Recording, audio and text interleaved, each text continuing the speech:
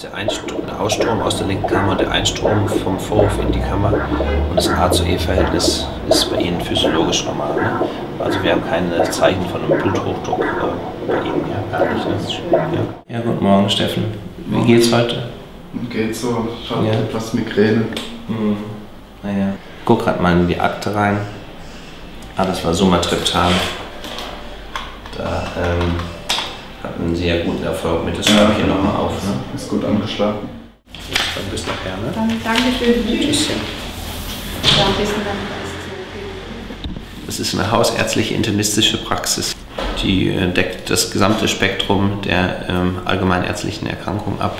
Sie können hier sehr gerne während der üblichen Öffnungszeiten kommen. Wir machen also Vormittags- und Nachmittagstermine, aber Notfälle werden nie abgewiesen. Ne?